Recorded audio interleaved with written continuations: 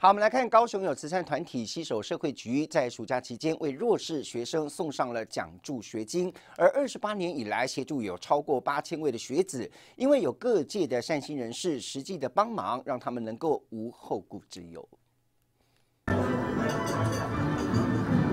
开心接受奖助学金，高雄市社会局慈善团体进行奖助学金捐赠。希望通过一份爱心，让更多弱势学子可以得到更好的生活品质，也鼓励他们持续成长。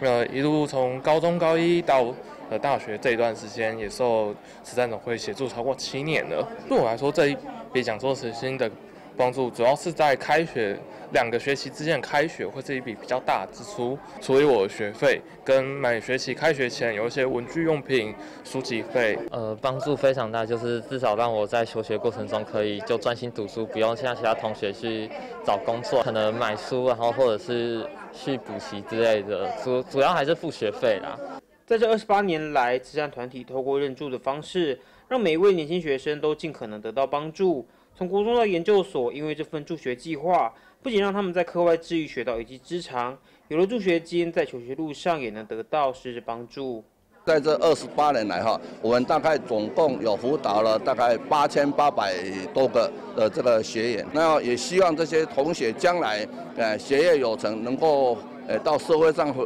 呃就业的话，也能够回馈社会哈，把这个爱的循环哈啊延续下去。当然，我们也有一些的这样子一个呃支持我们青年的这个逐梦的一些的课程计划，那包括我们的儿少的这个呃储蓄的账户，那我们都是希望透过这些的活动，能够提供我们的这个呃